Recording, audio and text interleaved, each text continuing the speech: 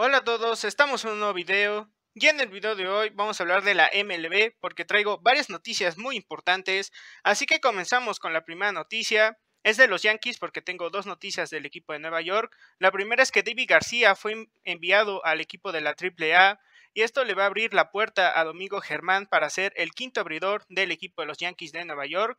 Un David García que no va a iniciar la temporada 2021, es un pitcher todavía muy joven que tiene muchísimo talento, creo que es lo correcto, le falta aprender todavía un poco más. Domingo Germán ya tiene 28 años, ha lucido mucho mejor que García, es un pitcher que le gusta muchísimo a Aaron Boone y creo que Germán tendrá una muy buena temporada con el equipo de los Yankees.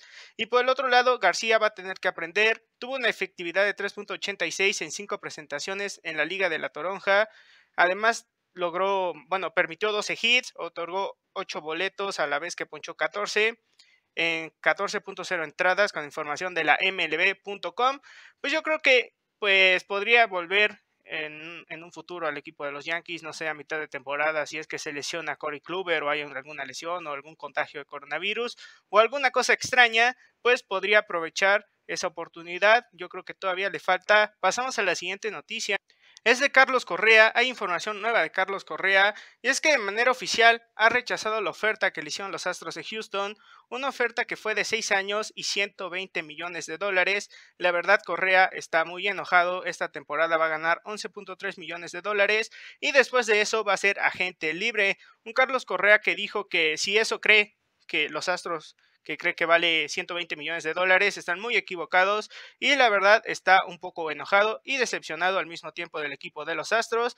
Dice que también está muy comprometido con la organización, quiere ganar la Serie Mundial este año y tal vez ir a la agencia libre el siguiente año. Además de que dijo que esta oferta que le hicieron los Astros ya tiene varias semanas, apenas se dio a conocer esta oferta, pero para Carlos Correa ya tiene varias semanas y dice que después de que le hicieron esa oferta y obviamente la rechazó, el equipo de los Astros de Houston nunca le hablaron o nunca le dijeron, ok, espánanos tantito, vamos a preparar otra oferta.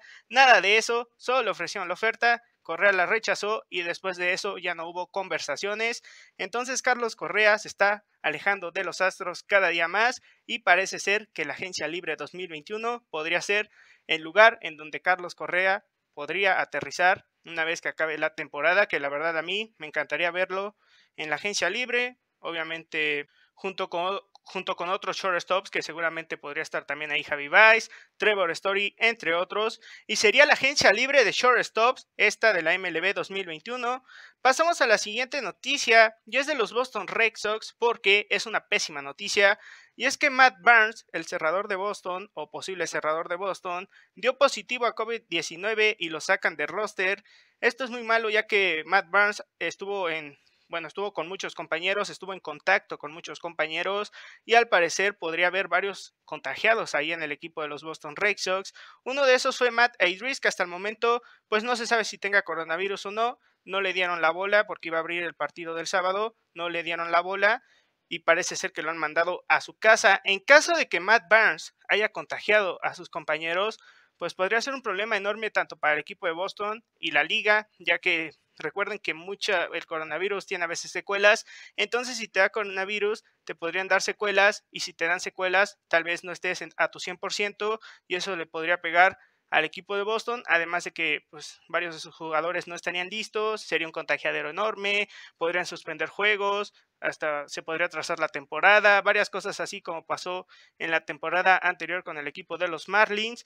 Entonces esperemos que Matt Burns se recupere rápido, además de que hay una buena noticia, y es que Matt Burns no ha presentado síntomas, o sea, no tiene síntomas, lo cual está muy bien, pero bueno, todavía queda la incógnita de saber si hay más jugadores contagiados y si bueno, los demás jugadores tienen coronavirus y si van a tener que ponerlos en cuarentena todos, o quién sabe, hasta el momento solo es Matt Barnes. Pasamos a la siguiente noticia. Ah, y esto va a dejar a Adam Otavino hasta el momento como el cerrador del equipo de los Red Sox.